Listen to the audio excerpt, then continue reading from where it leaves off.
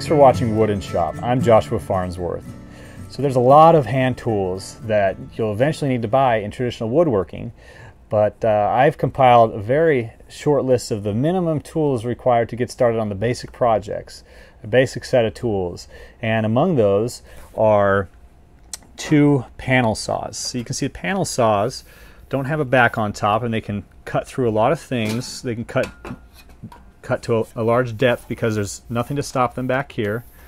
The two uh, the two saws, well, the panel saws are actually used for more rough work, getting close up to the line, not like back saws, which I'll discuss in a different video.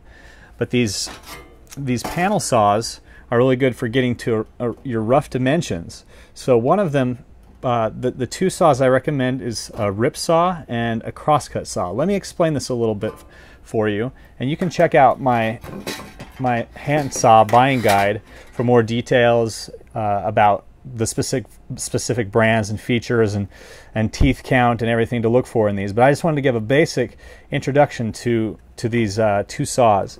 So a rip saw is something that you use to cut with the grain.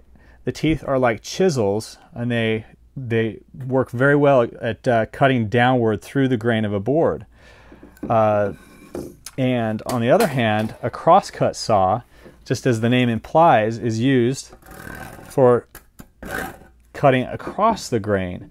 The teeth are instead of being instead of a rip saw where they're they're cut they're sharpened straight across, the crosscut saw is actually you file the teeth when you're sharpening it at an angle so that it's more like a knife cutting across so it can sever the fibers of the wood going across the grain.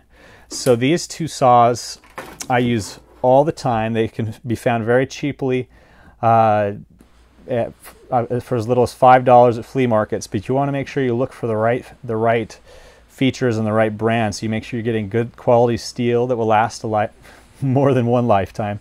Uh, these particular saws are well over 100 years old. So, uh, but you'll often pay the same amount for uh, a bad saw as you will for a good saw. So, check out my buying guide and uh, look for those additional features and uh, follow the link. I've got some links to places where you can find good deals on these saws. So, if this has been helpful to you, please subscribe on the little blue button up there and visit Wood and Shop and learn how to get started in traditional woodworking. Thanks so much for watching.